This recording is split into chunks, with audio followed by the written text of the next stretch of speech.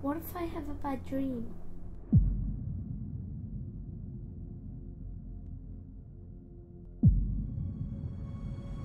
What if I dream that the mean lady from Daddy's story comes to get me? The one that he's writing.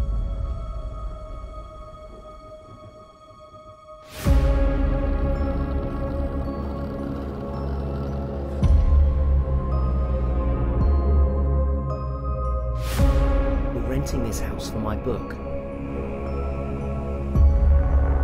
I want to feel closer to the story.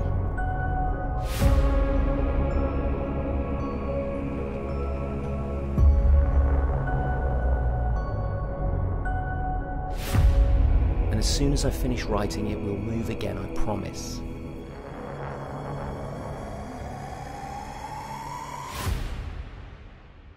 What if it's too late? What if she already knows he's here?